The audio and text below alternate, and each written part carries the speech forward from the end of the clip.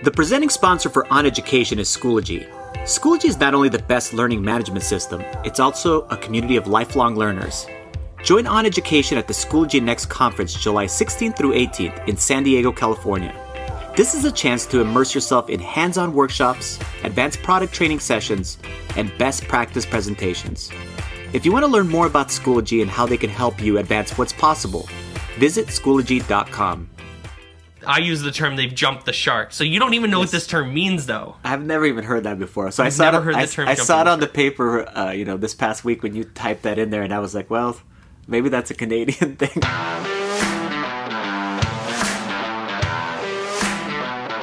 Welcome to On Education. I'm Mike Washburn. And I'm Glen Irvin. Friends, we have an awesome pod for you today. We'll tell you how the NHL has officially jumped the shark. We'll share the latest news on us and more ISTE plans. And as always, we will tackle the latest in the world of education, politics, and policy. And we're really excited to speak with the Rabbi Michael Cohen this week as he previews his keynote for ISTE. I'm really tired.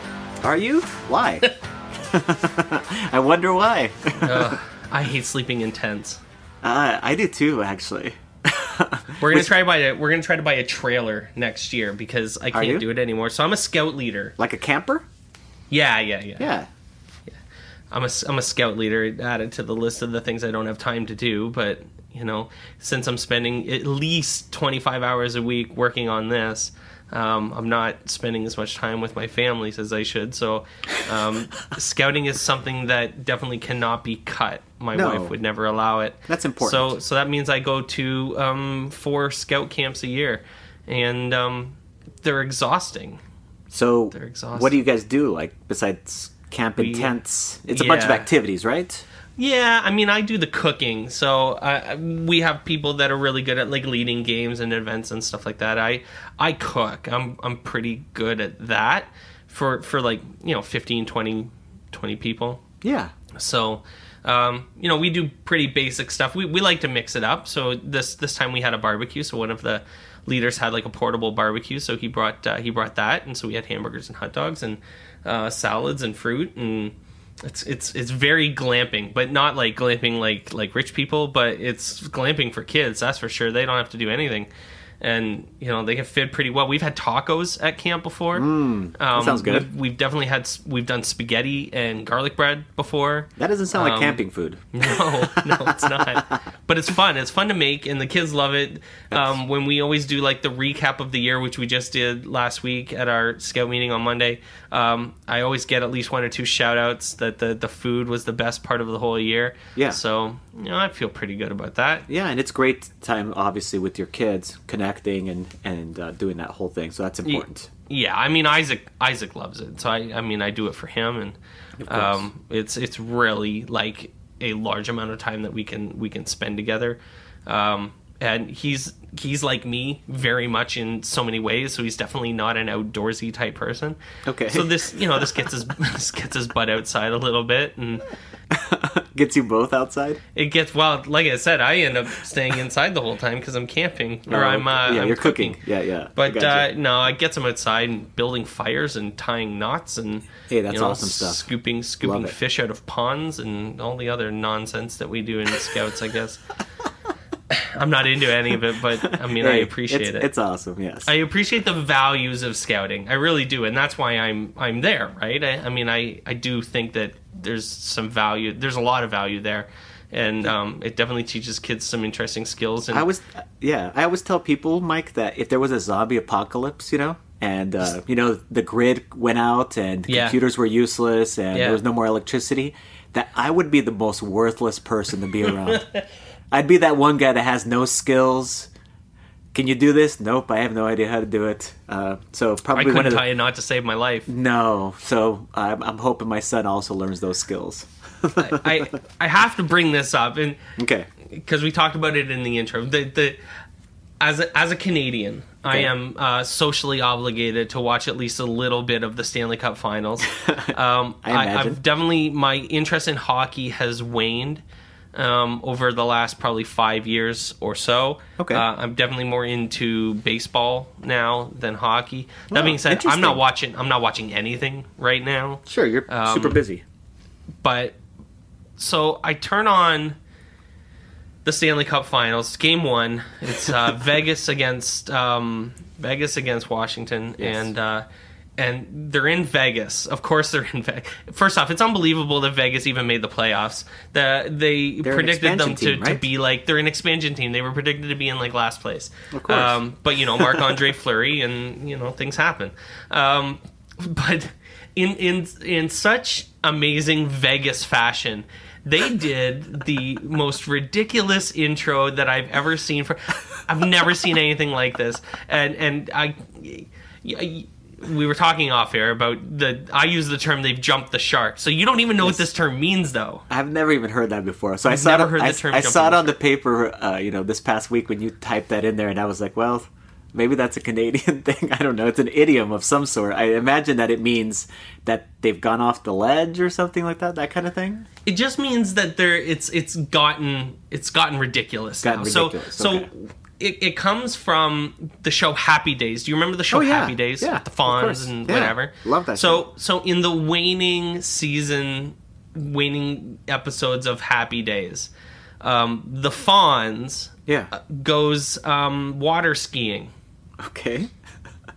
I guess I never saw this episode. and he's wearing right. Well, no one did. is kind of the point. Okay. And he's wearing his, as far as I can, if I can remember correctly, I should have looked at the video just before this, but if I remember, he was wearing his leather jacket, Of course he was. and and he and he jumps off of like a ramp into over and over like a, a shark. okay. And he literally jumped a shark, I and it was like it was like a stunt, so right? It was to try to get it was stupid, and they were trying to get people to watch the stupid show again, and it had gotten dumb, and um, so so it was that's that's where the term jumping the shark comes from. Awesome. Anyways, this this is dumb. It was so dumb. I and actually I was like it. looking at it, just going, "What is this nonsense?" I bet you the people in Montreal. If we have any Montreal listeners, I'd love to hear from you because Montreal Canadiens fans are angry um, and and passionate, and they're they do a lot of like presentations and like on ice stuff, mainly because they have a history of you know generally being awesome Okay. um, and and having a lot of awesome players that they should be celebrating. Um, but you know, so it I was would, too gaudy. But it, it was, was, just but it's totally much. vague. They had like Roman people, Yeah. like soldiers and it arrows, was like and it was like Game of Thrones meets hockey. It was very Game of Thrones meets hockey. In like, except really cheesy. but in Vegas, Game of Thrones meets hockey in Vegas. It's exactly Yeah. if that's if that's what you're thinking, that's exactly what it like. That's exactly what it was. It was You know what it reminded me of is Oh. I've been to this place a, a, a few different times, and I'm definitely going to take my sons uh, when they get older. It's a place called Medieval Times. yeah, yeah, yeah. We have one in Toronto. Yeah, yeah. Okay, cool. You know exactly what I'm talking about. So Yeah. that's what it kind of reminds me of because it's really cheesy, but Yes. it's like you're, Campy. but but but you guys uh, when you're at those events, you play into the cheesiness. You know what I mean? Yeah, and then you, you just kind of participate. Yeah, you play along and participate. That's actually all of Vegas. Everything is so fake and gaudy. You know what I Yeah, mean? over the top. But it's part of the experience. So then. This is the perfect match to Ugh. it. So I thought that was it was hilarious. It was a five minute Game of Thrones meets Spectacle. hockey. Yeah, it's exactly. It was awesome. really Cool. awful. Uh, I mean, but you, you know, when you're there, it's fine. I, it's fun, I'm sure. But when you're watching TV, you're just thinking, "Listen, man, that was five minutes of my life I'll never get back." it was, it was something, man. So, anyways, uh, we're gonna put the YouTube video for this this ridiculous intro in the show notes. You should watch it. It'll, For it'll sure. make you laugh. Um, and and and maybe you can tell us if I'm right or wrong on this. Maybe maybe I'm just being too serious about it, but it was just too much. I'm like going, "Ah, what? Oh, and now there's a fire breathing dragon? No. Anyways, I don't think there was a fire breathing dragon. Maybe there was. I can't remember. Um, what a mess. Um, we're going to be at ISTE. I think we've talked about that a little bit. Yes, we have. We're Just a excited. little. Yeah, we're excited. Um, we are thinking about having. It's come up on Twitter about having a meetup, getting Yeah, together. we need to have a meetup. So I think we should do that. I think we should try to do that. Okay. So I think what we should do is um, put it out there again to see if people want to hang out at Batterbrow Okay. It's literally right around the corner from the hotels. Like if you're staying at the Marriott or the or the Hyatt, um, it's just on the other side, uh, down the road a bit. I walked there when we were at Schoology Next last year. We walked from Batterbrow back to the hotel. It's like a 15 minute walk. Okay. You don't even have to take an Uber. It was great. It's a great place. Awesome beer. Um, we should totally go there. So, and they have food. They have food and stuff, and they, it's a big space. So, so we can, you know, if we wanted to do it, and um, I think there's been some talk of doing some board games, a little Catan, a little Catan. That would be awesome. Yeah. Maybe we'll do that. I think, I, yeah, I think so. So we'll put it out, and we are inviting, of course, we're talking about our Games for Ed community, our Minecraft EDU, the Explore Like a Pirate community, or our Schoology friends, just anybody. Let's just meet up and uh, have a night of fun. the esports edu folks. If anyone of Oh, you guys yes. is coming, Yeah, for sure. Let's just come over. We're just we gonna bring our fun. laptops. Oh, you bring your laptops. Set up a network. play some League. Oh, now you're talking nerd talk. Play now. some Heroes of the Storm. Am I right? Oh, that's Who's awesome. with me? Oh god. That sounds like fun. that's awesome. So we'll set something up, right? We're gonna go ahead and start posting some Yeah. some things on Twitter, and then we'll see what what night and time works well for people. Yeah, we'll we'll put it out there. We'll put it out into the universe, as my friend Nicole would say, Perfect. and see what uh, see what See the what universe see what the universe says. See how it responds. Speaking of video games, okay. let's talk about City Skylines EDU by Teacher Gaming.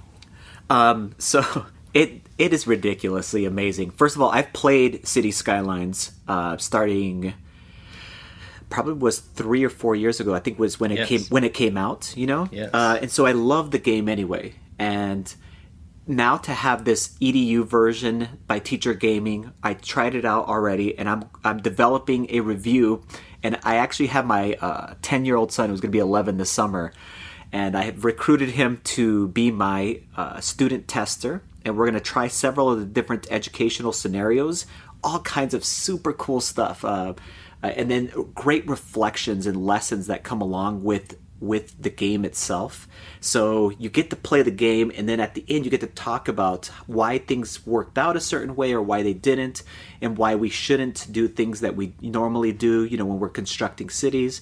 Um, and it is just an awesome game, and it plays really, really well. So I played it on on the uh, MacBook that's those MacBooks that we just got, um, and it's it's uh, definitely uh, streaming or playing really easily, no glitches. Um, so uh, I can't wait to put the review together and then post it on our blog post. So we're gonna do that. We're gonna put it on the blog. Yeah. Uh, Glen's gonna have screenshots and maybe even a video embedded in I the blog. I think I'll do a like- video too. Yes. Yeah, yeah. And then um, we're also going to um, really take a deep dive into it in uh, in a segment on the pod, um, coinciding when when when the review comes out. So stay tuned for that. We're gonna get that done before ISTE because ISTE's gonna be bonkers. Uh, so hopefully, no pressure. Glen gets it done in the next uh, week or two, and then Easy. we will be uh, we will be good to go. It's gonna be gonna be pretty awesome. Um, so you came across this thing on Twitter Yes. um, from Alice. Yes, Alice Keeler has a blog post article, and we're going to go ahead and link uh, to her posts because we want to make sure we give her credit. Um, but basically, she just uh, talks about how much money we actually are spending each year on just apps. You know, and really, these apps are the things that we me we've had this discussion with uh, teachers pay teachers and just teachers reaching into their own pockets and spending that money. You know, we were talking about uh, what was that one Padlet earlier this year, Yeah. um, whether or not it's worth paying that whatever the cost is per month, and, and you know, and justifying those things. And she uh, has a great article about it. And then the coolest part is basically they're developing a way to be able to coordinate with the uh, the fundraising site called PledgeCents, and um, and being able to find a way basically to fund people's desires and wants to go ahead and do great things in their classrooms. We're talking about things like Flipgrid and uh, Nearpod, and all of the in Minecraft, you know, uh, Minecraft EDU costs five dollars per student per year. So mm-hmm. and, and people are reaching into their own pocket and just paying for these things, you know, because the school districts are strapped and they're like, well, we can't afford to buy those uh, things, and so. Uh, you know, it's not going to be on you if you want them. You're going to have to spend, and people are spending, you know, out of their own pockets. So it's a great movement. We'll go ahead and link uh, to Alice Keeler's blog post article about it. And then I highly encourage you. She has a Google form to sign up on at the bottom, which is the hashtag teachers are professionals. And why don't you go ahead and get in there and and fill out uh, that Google form? I think that's what they're trying to do is gather uh, as many people as possible to support this cause, and then uh, they're going to take some next steps. So we're excited to to see what where are the next steps and where do they lead and how that association with the PledgeCents uh, fundraising site how it how it all works together i've been thinking about this a little bit since it, it got it got on the outline and um, i have two thoughts related to it um, the first one being that equity is something that everyone is dealing with. It, it, it's actually not a, a problem just in the in the U.S. We have equity issues um, you know disparities of availability of devices and money at schools in Canada, uh, in Ontario as well. And so, you know, if you have, like, I I feel pretty lucky in some cases. I I have a school that pays for almost everything that I need um, when it's been approved. Like if if we decide to use it, like so, if I say I want to I want a life I want a year subscription to Padlet, they'll say okay, and yeah. they pay for it on. I mean, the, that's very unique, though. Yeah, yeah, no, that's my point is that I'm I'm the outlier in this case. And and I get I get that. And but there are a lot of teachers out there that definitely have the passion, the skills, the innovation, you know, the ability to do awesome things. They just don't have the tools to do it. And yes. it would be nice to be able to help those people. So if you're one of the people that has, you know, maybe a little more than you need, let's help out the people who have a little bit less than they need. And um, so that gets me into the second thing that I'm thinking about, and that's that we're we're growing pretty exponentially here, and and and Glen and I have a lot of you know when we when we talk about what's going to happen, you know, two years from now and three years from now, and and I had this idea, and we're gonna balance it around, but I'm gonna I'm gonna throw it out into the. I'm saying I'm saying this all the time. This this podcast, the universe. I'm gonna throw it out there and see what people think. Okay. But I, I love the idea of supporting projects that people want to do. Um, you know, so the idea that maybe we raise money for a specific project, almost like a Kickstarter, an sure. on education, like a donors choose kind of thing.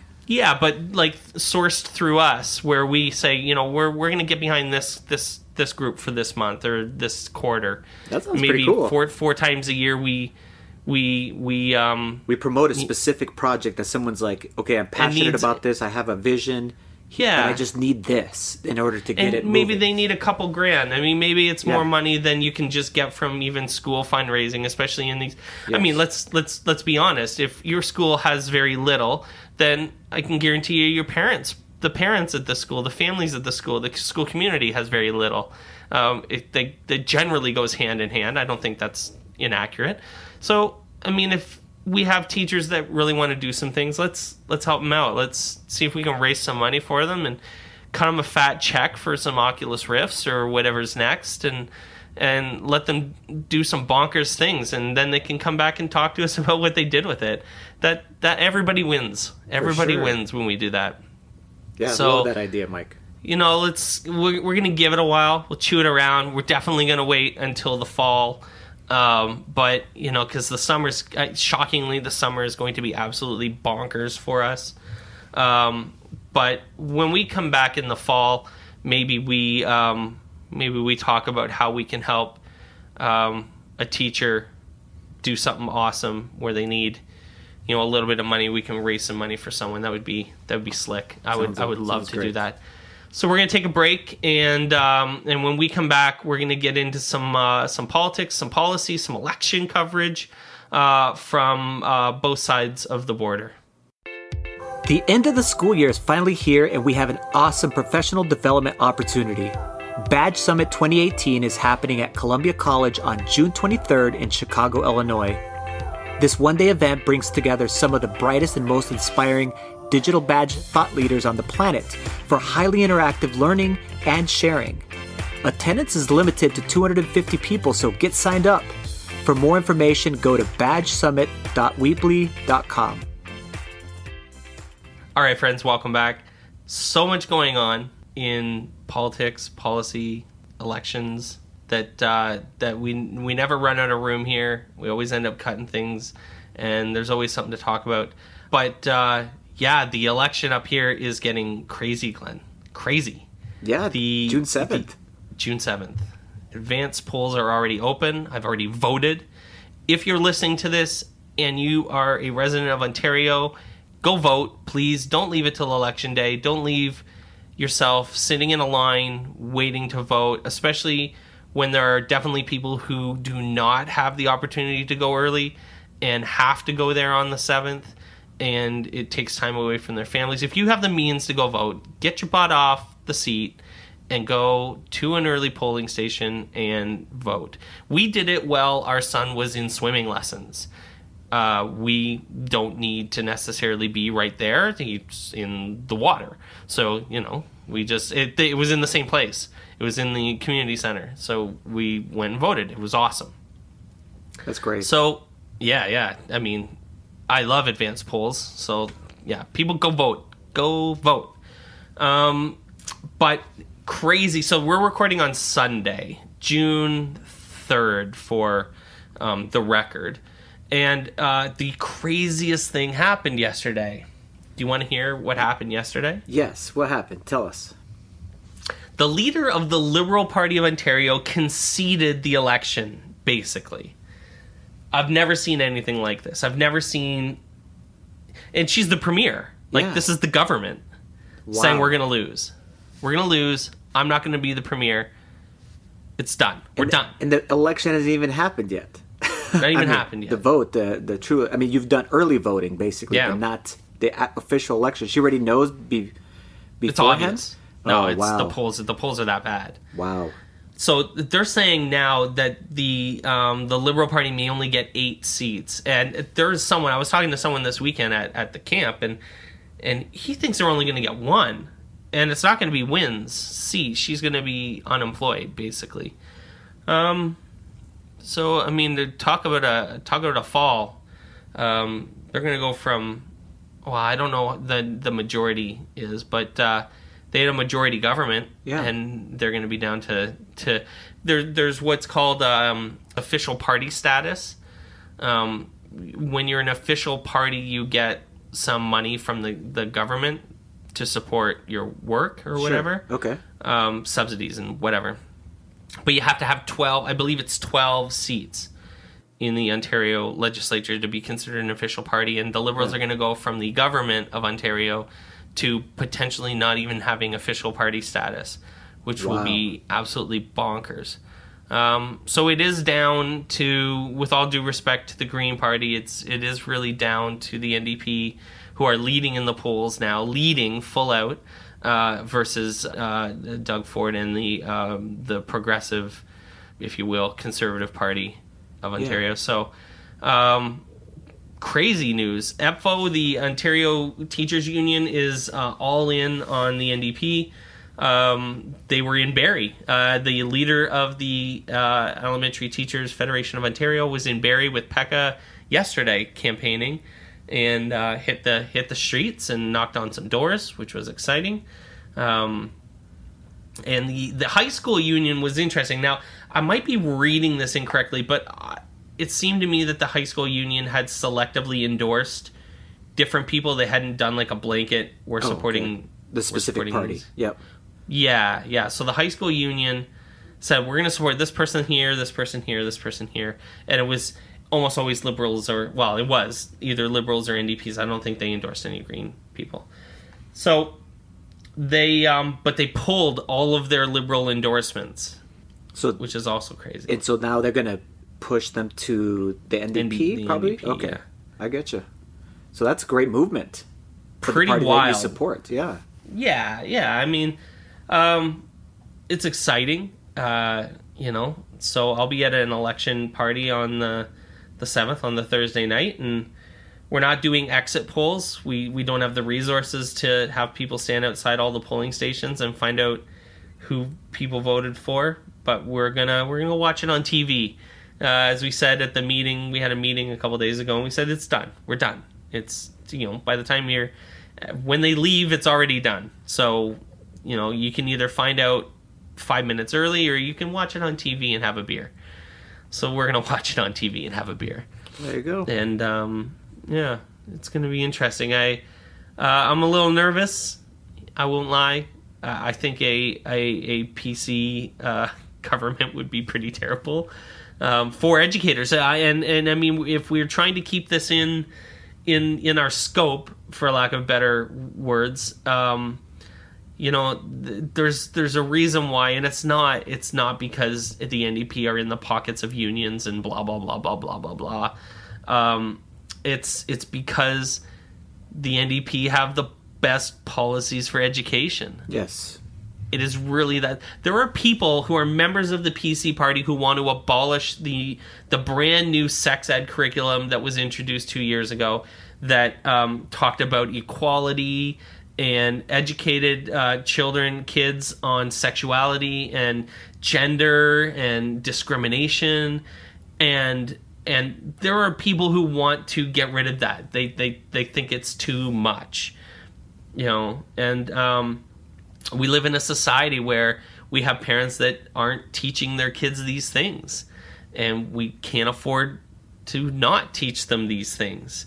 Um, and and it's it's really there's some really bad intent on that side. And it would be dangerous. It would be bad for education. So regardless of whether your opinion on FO or not uh, and on unions and teachers unions and remember i'm not a unionized teacher. So i mean i can speak about this pretty you know uh, from from both sides um, I, I, think that um, the the reality is the ndp have the best policies for education uh, they want to get rid of EQAO and um, abolish it because it's not the best way to assess. A, a, giant test is not the way to assess kids. And teaching to a test is not the best way to teach kids. Yeah, absolutely. Yeah, we've talked about that before when we are talking about standardized testing in general. Right. This isn't complicated stuff. So, and as a teacher, we're the ones who know about this. We're the ones who know that teaching to a test is not the way you teach kids. And writing a giant test where your kid is so nervous they're throwing up before it is not the way to assess what they've learned. Um, and so, you know, it's time for those things to go. And, um, and so we'll see what happens. Uh, next next week's podcast will be I'll be really happy or I'll be really upset. We'll be announcing it. yes, that'll be awesome. Cliffhanger. Exactly. So, yeah, we need to talk about. Well, we're gonna again, in the name of keeping it in in the scope of our of our mandate, for lack of better words. Uh, let's talk about Roseanne Barr uh, and what happened this week. Sure. Uh, well, uh, with with her tweet. Well, I mean, everybody, uh, if you were alive in the universe. Um, you saw or heard that Roseanne Barr had a racist tweet, which then ended up canceling uh, ABC ended up canceling the show uh, for next season.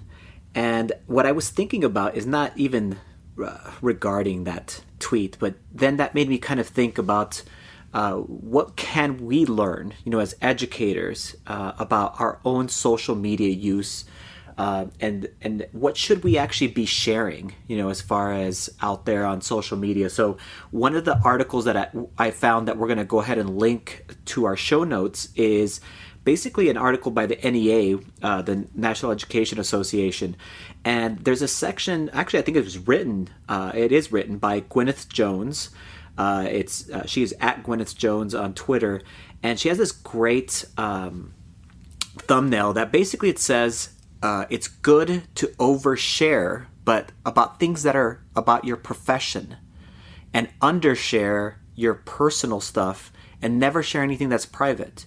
And really, that's what we should all be doing using the platforms of social media, whether that be Twitter or Facebook or um, uh, you know Instagram or whatever it might be, to basically overshare those awesome things that are happening in your classroom, share those things, inspire others, connect with other people, uh, collaborate, and then be able to go ahead and continue to do awesome stuff. And really, I think it's about inspiration. When I go onto Twitter and I'm on Twitter chats or I'm just looking at specific hashtags, I'm looking for things that are inspirational or to connect with people who who have done amazing things so that if I yeah. find someone else that has a question about whatever the topic may be, I can go, hey, I, I think I know who you should talk to. It's this person. They've actually done it with success, and at least you can have a conversation started there. So, again, good to overshare the prof- uh, the professional, and then of course never share anything that's you know something that's private, uh, mm-hmm. and especially I mean of course in this case, don't don't put anything that's you know racist or whatever might be. It's just ridiculous. Yeah, I mean we should be encouraging teachers to share the awesome things they're doing in their classroom. When they do that, other teachers can learn from that and grow and and you know the the rising tide raises all boats, so to speak. Um, and I even don't think, and even though I actually don't do this very often on my professional Twitter account, I don't mind the teachers who get political a little bit there's important conversation. Listen, we we use the tagline "Teachers, we need to talk for a reason," and it's not just about talking about 3D printing pens and um, you know the NHL jumping the shark. It's it's about you know these important, serious conversations that intersect with education, and yeah, they're political, and yeah, that's fine. I think you if you care about something enough and you think it's important to your job and your career as an educator, then you have all the right in the world to be passionate about it and talk about it on social. I mean, be be professional. Be the professional that you are. You know, avoid unnecessary words and phrasing. Um, but man, if if you believe in something, then uh, by all means, uh, social media is the way to use your platform to uh, to share your thoughts on on everything that's going on. Totally agree, and I, I, mean I know that a lot of us also, as people that use Twitter, we put as part of our profile that our tweets are our own tweets, so that we're not associated with you know our school districts or anybody else that we're employed with.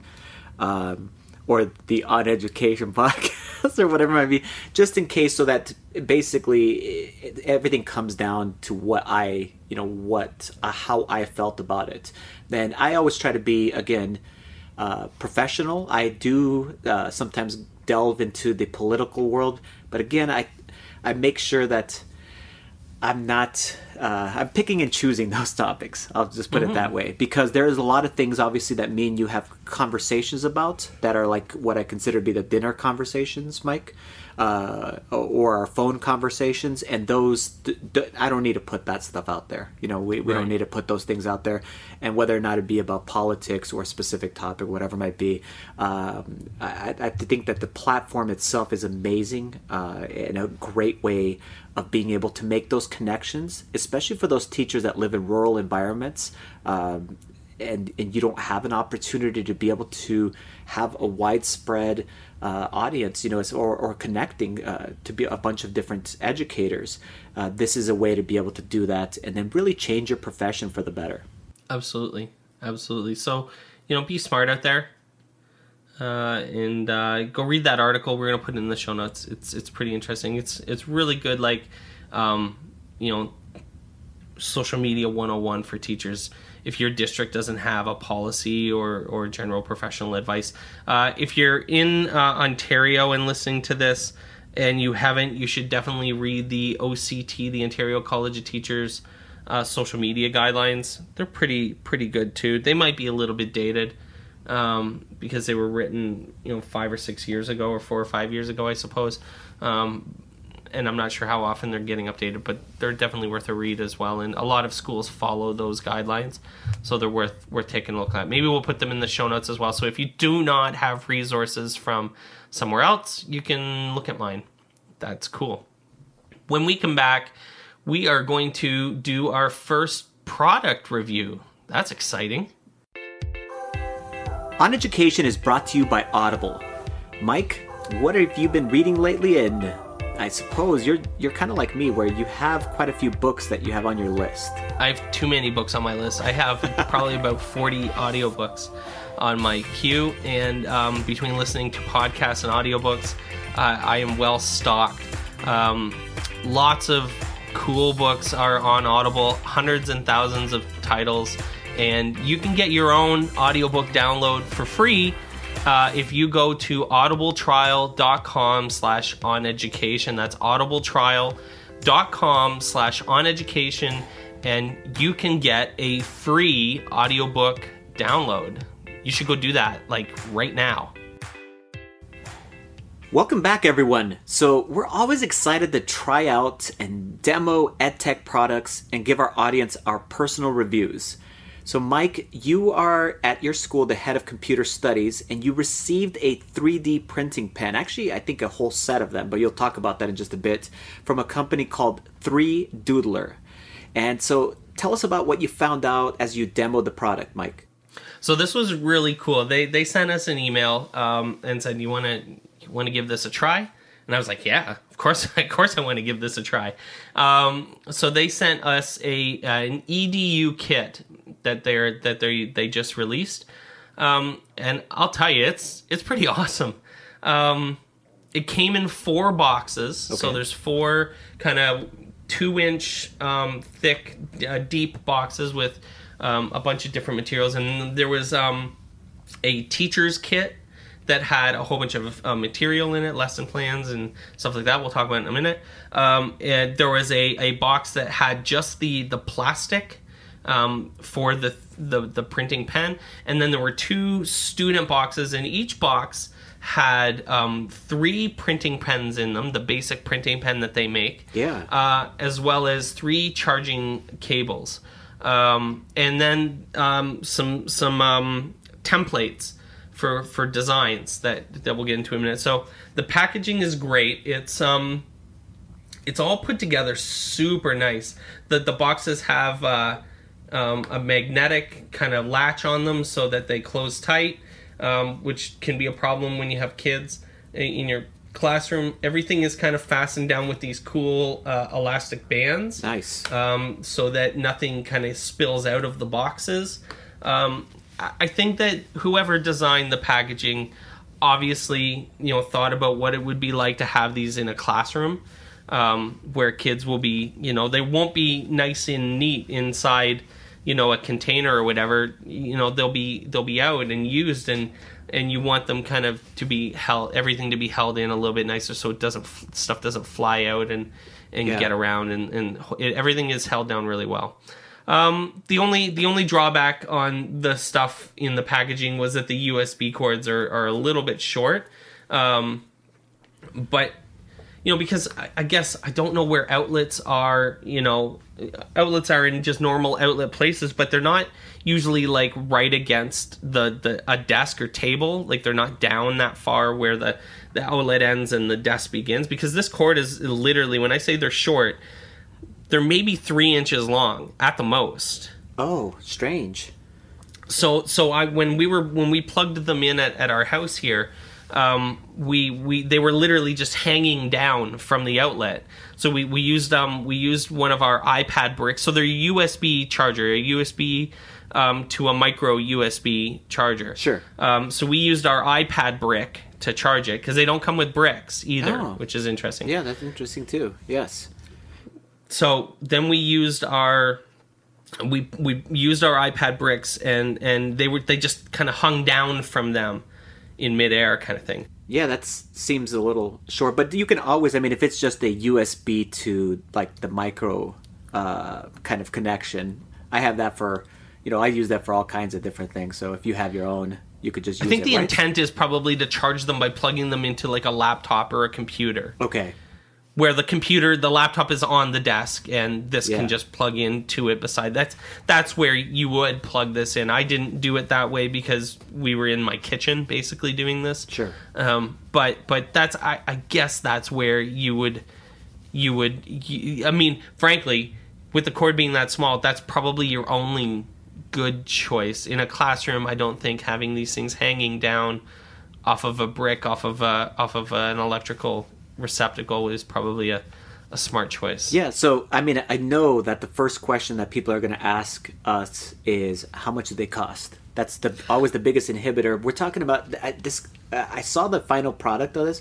It reminds me of something you would be able to use, for example, in a maker space or in in like a classroom like yours, where you're doing some very cool, innovative things. So, wh- what's the cost, Mike? So the EDU kit that they sent me, I think it starts at 350. Um, and then it can it can be I think ramped up quite a bit um, depending on the actual pen that you choose. 3Doodler makes um, multiple pens, Yeah. uh, of varying quality. Now the pens that are in the one that they sent me are the the entry level ones, Okay. and and those pens alone are are 50 bucks. So so they sent me uh, each kit had six six pens. So you got six pens. Okay, Yeah, yeah, which is great. I mean, that's Yeah. a, that's a lot, that's awesome. That's a whole Um, station. and and it had a quite a bit of plastic in it. So the only there there are a couple uh, interesting things about the devices itself.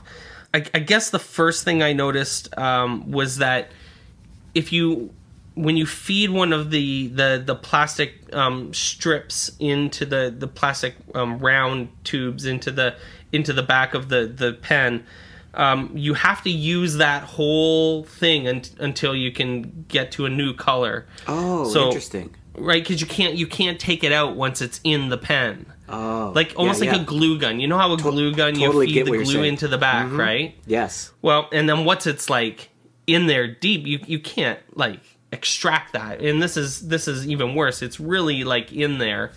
Uh, once it's like buried in the in the actual enclosure of the the pen itself, you can't extract it. So what I found is, you know, so I made this little on education text, um, and and I wanted to do it in two different colors, similar to our actual logo. So I did the on in in gray, and then I wanted to switch to blue, and I realized, oh man, I can't I can't just like switch. I get you. I have to I have to use all of the plastic, the gray piece of plastic. Now they're not huge. The they're they're maybe about eight inches long. Okay. So so and they're thin. They're they're one or two. Oh, I'm- I was about to say they're one or two millimeters in diameter. Do you know what one or two millimeters are? I do. Glen. I do. Glen, do you know what one or two millimeters are? Yes, I just don't know kilometers. the millimeters are fine. You, you, you do, eh? Okay, so it's like it'd be what? It'd be like about a, an eighth of an inch, an maybe inch, just a or less. maybe just a little bit more than an eighth of an Okay. inch. Gotcha there. That was a good one. Yes, definitely. So, hey, Mike, I was thinking about this too. So, when you get Yeah. these kind of kits, you talked about there's like a teacher part of it too. So, are there lessons that come with it? What describe those things that came along with it? So there is. There's a decent amount of material in this. There are two lesson plans. Um, and and you know my wife and I were looking at them. My wife's a, a kindergarten teacher, um, and, and and she said, you know, these would be these are going to be perfect for for kindergarten. So so she's actually taking it to school tomorrow. That's awesome. to, to use there's um it's a balloon blowing like you know how you get the little dipstick thing that you you dip into the into the balloon mixture and you you you blow through the the the hole and it blows bubbles right? Yeah. so but you can make one with this. So she's gonna and you can make like different designs um of of balloon uh, of bubble sorry of bubble um of bubbles different designs of bubbles. I don't know what i'm trying to say but a bubble maker. It's not my wheelhouse. I'm not a kindergarten teacher. Give me a break. There's um there is some really cool booklets in this though that really got me going so um there is uh, what they call the doodle block guide so inside the box were these silicone templates that you could like um, pour the plastic into that then created different things like grooved lines or swervy lines but they were templated for you so you didn't Nice. you know so they were nice and even and balanced right Yeah. And there was about five or six of these different templates that had like different designs on them and um, i was like okay these are neat when i saw them but then you open up this book and you you see what they're doing with these templates to build like much more complex structures. Okay. And you're like, oh man, it just it blew my mind. Yeah, no, I, I really like that the idea of being able to then, you know, you build this and then you'd be able to put this next level onto it and then whatever it might be, and then your final product is a combination of a bunch of different things that you were able to do. That's that's super cool. Yeah, there was like they were building houses with the templates, like with the different templates, flowers with multiple patterns, like using multiple patterns and putting them all together. Really, really cool stuff. And I, and I'm like, you could you could definitely take those doodle block silicone templates and use them in maybe a more junior or primary level, like a grade one, two, three level, Yeah. to do some really neat artwork. Um, for sure, for sure. Um, and then there is what they call the activity guide, and it, it and it even ramped it up even more. On the on the cover of the activity guide is is the Eiffel Tower Oh my goodness. drawn with the the 3D printer with, with the with the pen. Um, and it's it's absolutely amazing and I was like, "Can you really do this stuff with this?" I mean, I, I would have to say that the person who's doing this um, these these templates has probably got some pretty serious chops Sure. because I certainly don't have the same skill. But on the cover, there's a Big Ben as well, the the clock tower Sure. know, in London, uh, and uh, butterflies and and glasses and uh, dinosaurs, like like where like you can do the bone structure of the dinosaur. Jeez, that's and awesome. what's really cool about this activity guide is that they show you a picture of it, but then they also have like the um, a template. So what you do is they it came with um plastic like a like a mat, Okay. uh, a clear plastic mat that you could set on top of the book, or you could photocopy the book um, with the template. Uh, but you then would set this plastic on top of it, and then you could just go over top of the lines in the book That's so smart.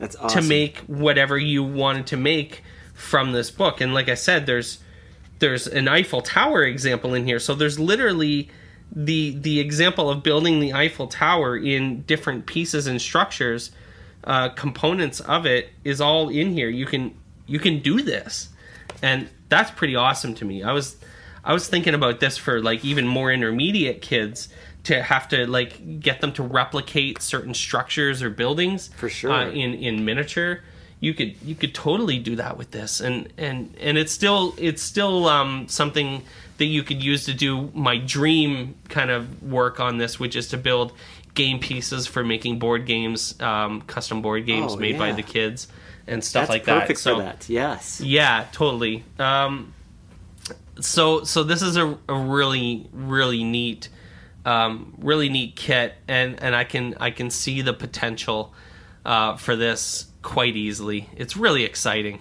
Cool. Are we gonna go ahead and link their site then? Yeah, yeah. We'll so that, right? so I might even I might even write something up uh, a little bit later. Um, I'm gonna uh, maybe I'll even try to do it this week. But um, and take some pictures uh, of some of the things. We're gonna make some more things here this week. Uh, I've only really made the the the little on education text thing that I that I that I I showed you in uh, text message. But I, I'd like to make uh, a couple more things maybe and. Um, and then write up a, a bit of a review ourselves. So two reviews on the blog. Ooh. Two. We're doing awesome. So I would I would definitely suggest that people look into this if they have just a little bit of money but want to take like a pretty barrier to entry free way into 3D printing without having to go buy like a $1300 you know uh, 3D printer a MakerBot. You don't have to jump into MakerBot right away. You can you can get this thing from 3Doodler and uh, and really test the waters get your comfort level up before you, you dive into some other things. Uh, and I, I, it goes without saying that you can do some pretty advanced stuff with this. So this, is, if you have a maker space now, yeah. this is this is a really solid addition to that. It seems like it. Like it doesn't seem like it's just limited to you know like your wife's teaching kindergarten kids. That's fantastic. That you can even use it at that that young of a level, and then you i mean i'm thinking even my 10 or 11 year old son and the things that they can create you know with the things that come to their minds you know and those types of things. Uh, like you just said for your game design studio man uh, talk about being able to go ahead and create custom uh, pieces for your games. Man that's awesome. That's awesome. You just gave me a wild idea. love it. You could you could totally like do stop motion, um, Oh, build like yeah. characters, build characters with the 3D printer, turn them into stop motion characters, and then and then uh, oh, I have an idea. awesome love Um, it man I, you you you um you wrote a note here while we were talking about about Yeah. safety, and I wanted to talk about it because it is interesting that um, one of the things I noticed is that the the plastic is not particularly hot when once it comes out. That's weird. That's what I was wondering. You know, like a hot glue gun, uh, you don't want a kindergartner or my six year old. I don't want them anywhere near a hot glue gun, obviously, because it's dangerous. But in this case, you have this this thing, and it's creating. Uh, I mean, it just in my mind, it it makes me think of hot glue, but when it spits it out, it's not hot. It is hot, but it cools like almost instantly, and Okay. the tip the tip isn't hot. Like it's not a metal tip; it's got a plastic enclosure around around the the heating element is further inside. I think of, Okay. of the device, and then it's fed out um, in a nice little, almost exactly the same diameter of tube um, type dimension that it is when it's coming in the uh, coming in from the back. So, um, but I, I think these are totally safe for for even young kids for sure. So yeah, uh, 3D, 3Doodler, 3D pens, teacher EDU kits, 349. Uh, check them out on their website. We'll put some information in the show notes, and be on the lookout for a review in the next little while. Yeah. pretty cool stuff. Awesome. Yeah, so when we come back, we'll be talking to the tech rabbi, Rabbi Michael Cohen. Friends, On Podcast Media is getting set to launch not one, but two new podcasts this summer. And we're excited to tell you about the first one, On Politics. On Politics is hosted by politician, professor, and human rights lawyer Craig Scott. On Politics will take deep dives into policy and politics. You definitely come away learning something every week. To stay up to date with On Politics, follow the show's Twitter account at On Politics Pod. All right, welcome back. On the podcast today, we're thrilled to chat with Michael Cohen. Uh, Michael, the tech rabbi, is the director of innovation at YULA Boys School in LA, and he will be uh, the keynote speaker, one of the keynote speakers at ISTE on uh, Tuesday, on Tuesday, June 26th. Welcome uh, to the show, Michael. Thanks so much for having me. Yeah, no problem. Um, I like to start by talking about your path to today. Uh, a lot of our listeners are new educators and aspiring ed tech, you know, mentors and speakers. Some people are just getting started. I, I can even remember some of the people that have helped me uh, along my path to to talk. Talking in front of kids is way different than talking in front of your peers and adults, and so you're about to keynote, arguably, uh, the world's largest uh, conference for education in the whole world. Uh, and that's amazing. Can you give us a brief timeline? You know, what got you here? Uh, well, no pressure. No pressure. Sometimes I forget I'm keynoting this uh, this conference, um, but it, it's it's an interesting journey. I'm not going to go all the way back to the beginning um, of my professional career, you know, right out of university, but I, I did just start in the world of design and marketing communication. I think that's some just important context for your listeners and really anyone who engages with me is that I never imagined that I would become a professional educator. Uh, I always loved teaching and helping people learn new things, but as as a profession, there's just no way 10 years ago you would have told me uh, that that would be the year I would enter into uh, the professional education space. So I just finished my ninth year this year um, as a as a professional educator, as a director and administrator, and in 2014. I had already been on Twitter for a couple years, engaging with a really powerful and inspiring group of educators all over the world. And I decided that it would be interesting to try to present at a conference and showcase some of the work that I had been doing with teachers, with students, and, and why not? So I submitted to one of EdTech Teachers uh, Innovation Summits. It was mm-hmm. actually a, a one-off, uh, the one in Chicago in 2014, which is uh, very apropos that I'll be in 2018 keynoting uh, the ISTE conference in Chicago. So full circle there. And people received my talk well, and I realized, oh, I also am a pretty decent speaker, I guess, a decent storyteller. But that goes back to the work I was doing in the design space, where I was helping nonprofits really craft their message. How do you communicate and resonate with your audience? And I just kept putting out work and really publishing work and just because I felt that I wanted to provide value for people. And I think that really is the root cause of what success I've had up until now. Uh, it's very little to do with me. I think anyone can do it. It's your desire to want to provide value for others. I think as educators, that's intrinsic in who we are because we're in a space for so many hours a day trying to give over to someone, uh, aka the students, that sometimes don't even appreciate what we're trying to do for them. Yeah, and that really has been just the driver of all of my work and presenting at different conferences, South by Southwest. Um, Apple ed- education events. I'm an Apple Distinguished Educator, and I think that also played into it. But once again, all of these you know recognitions and conferences that I've spoken at, it's really just I want to help people and I want to put my stuff out there. So I spend um, a a huge amount of time putting together content, whether it's audio, video, face to face, online social, uh, in written form, just trying to help educators uh, develop creative confidence and come up with new ideas themselves or take the ideas that I have come up with and utilize them in their classrooms. But I think that's really sort of the journey is just I want to help and the opportunities come and I, I can't take too much credit uh, for it because I really believe that when you are trying to do good for people, then good things happen to you. That's awesome. It's funny actually. You mentioned the EdTech teacher conferences. That's actually where I my first education conference was EdTech teacher in Boston. Actually, I think that exact same year, uh, November. That would have been November 2014, I think. And um, that's when I realized, you know, I think I could do this. Um, I didn't speak at that conference, um, but uh, I definitely walked around there with a different sense of things. Um, that that I could I could I could do that. I could I I have things worth sharing. Is is, is I guess what I was thinking too. Um, so it's funny we we connect on on that level as well. I, I try to do as much research, and and I, am excited about this question. I, I, try to do as much research and digging as I can uh, about guests, and uh, I'm really interested in how your faith intersects with your work. Um, because you became a rabbi in 2014. From as far as I can tell, you can correct me if I'm wrong.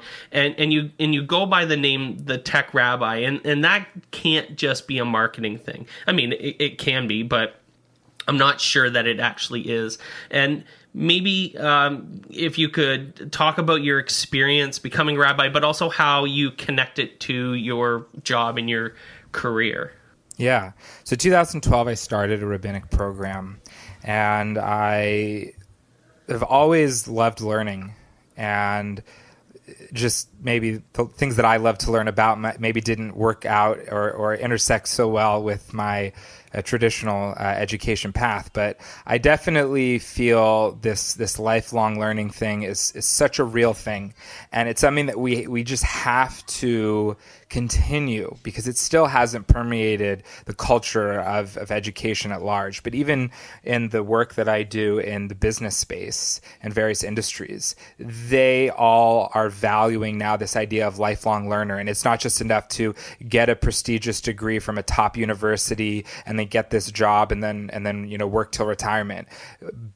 Constantly developing yourself and enhancing the skills and the, the knowledge that you have is, is something that is is well respected. So I didn't become a rabbi because I wanted the title. I became a rabbi because I was interested in a program that would really challenge me to learn uh, a significant amount of content, a lot of material, and very complex discussions. And I just felt I was up for the challenge. So I spent uh, with uh, I had a, a um, the, the Hebrew word is uh, chavrusa. Uh, it's like a learning partner, and we spent um, a good three four days a week for a number a number of hours, just you know going through this this vast. Um, database, if you will, of, of Torah knowledge. Hmm. And as I started to kind of look at, you know, who am I? Um, I didn't realize at the time that there would be another Michael Cohen that would become very famous. So I'm glad that I, I have a differentiator. um, that is so good. So so I, I, came up with this idea of okay, well, I'm I'm a, I'm a rabbi, and there's you know tech is a big part of the work I do. So I should try to come up with something memorable. So there is a little bit of a marketing ploy. I won't deny it, and, just being memorable. And n- no one is going to ever forget the tech rabbi.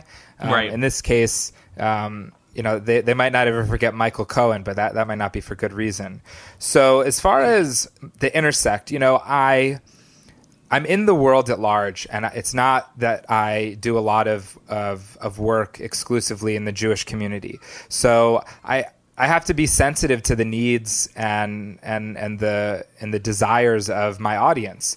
So for me, I feel that the things that that shine in in my work as you know being a rabbi is really developing people's sense of kindness and sense of, of moral character. And so I might not be um, necessarily giving, you know, a Bible class during one of my sessions. I do share different insights and different powerful either verses from the Bible that I feel represent something that is empowering for my audience. Yes. And I think it's important that people stop disconnecting things that they do in their lives is this is the this is the spiritual Michael Cohen, this is the personal Michael Cohen, this is the professional. We obviously have to have boundaries, but I think that there's something beautiful about trying to intersect all that we do. And I think that my you know my work as an artist. Uh, first as a you know professional but then more now as just a hobby you know i i bring that into the work that i do and so it's it's important I think for me to ensure that I, you know, that I'm true to myself and I keep to, you know, w- what what my you know what my culture, what my religion um, represents for me. But at the same time, I feel like there's there's powerful things that that we can learn that that I learn from other cultures, from other you know areas of the country, even of just what people what people do, what they what they, what they experience, and I think that some of the the I think success of of what um, what I'm doing is also because I, I, think I'm just kind of interesting and and and I don't want to use the word like exotic, but I you know I'm I'm not you know very very few people um, have met Orthodox rabbis um, mm-hmm. in let's say the middle of the country. So when I go to Indiana or Texas or Oklahoma, sometimes this is the first you know Orthodox Jew that they're ever meeting, and so I feel like I'm also sort of like a represent a representative. sometimes of the entire Jewish people, as I'm trying to obviously show a level of professionalism and, and a level of just kindness and goodness as I'm trying to to give um, to others definitely pushing people outside of the box that that uh, the perception of you know with the ed tech person or the technology associated person and you know that's that's pretty rad that's that's great um you're speaking on tuesday we're really excited about it we're going to be there right at the front big smiles and uh, we'll we'll try not to make you laugh or anything like that. We, Glen Glen does that sort of stuff. I won't do that. I'm not that sort of guy. Um, uh, can you give us a, a little sense of, of what you're going to be talking about uh, on your in your presentation? So the, the core of my you don't talk, to, you don't have to spoil the whole thing. Yeah, that's fine. No, you know it's. I'm gonna I'm gonna have surprises in it, but I, I think you know there's there's nothing that you know you you won't miss out. Hopefully, if you hear what what's going on on this podcast, but I think the core mission right now of the work that I'm doing, uh, it's in the the work I'm doing as a director of innovation, the work that I I put into my book that I hope is coming out before the end of 2018, um, but I'm I'm still unsure about that. Um, and this keynote is helping people develop uh, their creative confidence and the and a creative mindset, and how we all have that, and we just need to understand how to develop it. You know, sort of like if you wanted to go to the gym to start working out and have a fitness plan, you know you would you would probably not just go there and start you know on the treadmill. You might look on youtube you might read some articles you might download a cool app or maybe you hire a per, you know a personal trainer. And i think that the our, our the way that we think is the same way so it, the the talk is going to have this creative confidence builder kind of you know this is the strategy to develop that in ourselves as professionals in our students what types of environments and experiences are needed and then I'll I'll touch on something that I will be crafting to be K 12, but I'll be showcasing um, at a high school now high school students that are developing uh, entrepreneurial tendencies and entrepreneurial ways of thinking. And that doesn't mean that they'll start their own businesses or start their own app startup, but there's certain ways that entrepreneurs think that everyone can benefit from those skills. And so I teach those skills in my entrepreneur studio, and I'll talk a lot about that because I want to see more of these types of programs be developed. So I'm hoping that I'll have a, a successful call to action where I will create a community um, at ISTE where we will together begin the fall trying to figure out what does it look like in our classrooms in our schools to create some sort of space and time to support entrepreneurial thinking because that is where creativity is going to thrive. And these are the skills beyond the academic knowledge and skills that we need our students to have because this is what the world of work wants and will want in the next five years and, and almost demand in the next five years. That's amazing. That's it's great. I, I love the idea of um, instilling in our students uh, independence. That's a that's definitely an entrepreneurial um, trait.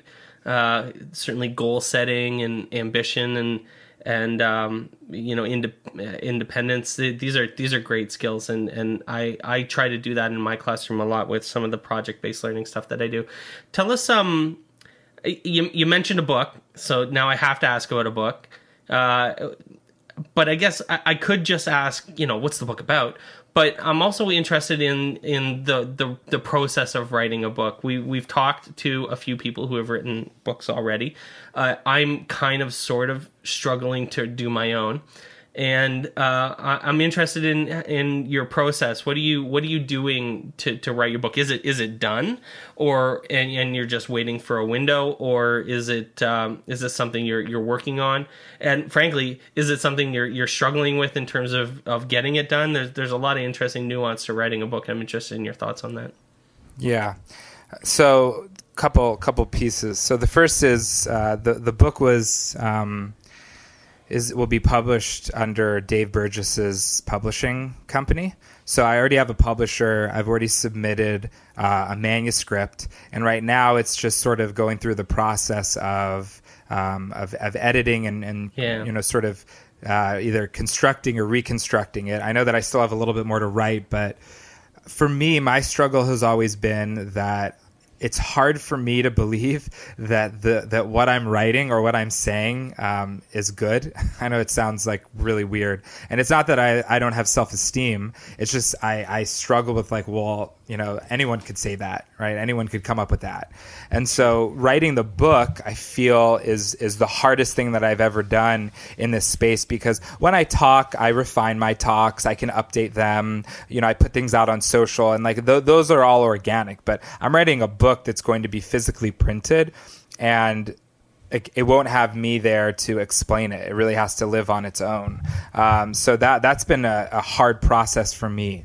Um, I have tens of thousands of words, so the the words are not necessarily um, hard to come up with. It's just coming up with something that I feel is going to make a difference in the life of a of a student or a teacher. So, Michael, this is Glen. Um, you said you originally came from the design world, which I think that's awesome and super interesting because last week we had Paul Darvasi on the show, and he said that he sees that the teaching profession becoming more designers of learning environments. Is this something you also believe in, and how is design connected to teaching and learning? So it's it's connected in an incredible way. Um, I believe that all teachers are designers, and I wish that there was something um, in our teacher programs that emphasize that more. Uh, we're we're designers of space. We're designers of experiences. We're designers of of human centeredness, and sometimes I think that because we don't have that explicit design mentality a lot of teachers can struggle with it. You know, they're given a curriculum, they're given a class, and they're told, you know, this class will cover this, and good luck. We'll uh, we'll review you periodically, but we'll see you in June. And so I, I think it's really important for for educators to get more involved and and become more knowledgeable in the design thinking space in um, all all different types of design. You have classical design you have computational design, you have design thinking. So each one of those, you know, it represents a different area. Um, but what happens is, is that I think that lack causes a certain stagnant existence in, in education and it's it's it's not due to the people it's due to the process and by being more sensitive yes. to uh, design strategies things like you don't need thirty or even five thousand dollars to transform your classroom into an incredible space for learning. Uh, you can do it even just with what you have or a couple trips to the ninety nine cent store. Um, but it's really something that uh, is important for educators to to begin to get educated on. And I, I, say this all because I see ISTE's standards evolving uh, and not being so much focused on technology tools, but now uh, technology is a way to help us uh, connect and think and create. And their their their innovative designer uh, standard. I'm I'm presenting a, a, breakout session at ISTE on this on this standard um, is important. Oh, fantastic! Because it it begins the process of educators learning about ways in which design is already part of their life as a professional educator, but that they didn't know that that, that yes. there was a terminology for it, or they didn't know how to seek out uh, ways to develop it uh, further. Awesome. Uh, Michael Cohen will be speaking at ISTE on Tuesday, June 26th. Uh, if you're going to be there, you should definitely be uh, listening to him. And uh, it sounds like it's going to be a, a great talk, and we're looking forward to uh, to listening to it. I really appreciate your time, Michael. Thanks for uh, joining us. Thanks so much for having me. On Education is an on podcast media production. My name is Mike Washburn. My co host is Glen Irvin. You can get in touch with us or ask us questions to answer on air by visiting our website oneducationpodcast.com. You can tweet us at oneducationpod. Glen is at Irv Spanish on Twitter. I can be found on Twitter at Mr. Washburn. Our sound engineer is Jake Codeweiss. He's on Twitter at JK Radio. You can find us on Facebook by visiting facebook.com slash oneducationpod. If you're enjoying the show and think others would too, we would be honored if you shared it with them. Please leave us a rating or review in Apple Podcasts or the Google Play Store. When you leave a rating, it gives our rankings a boost. This helps others discover the show. We want to thank our presenting sponsor, Schoology, for supporting us. Check out Schoology.com to learn how they can help you advance what's possible. Thanks as always for listening. Stay awesome. See you soon.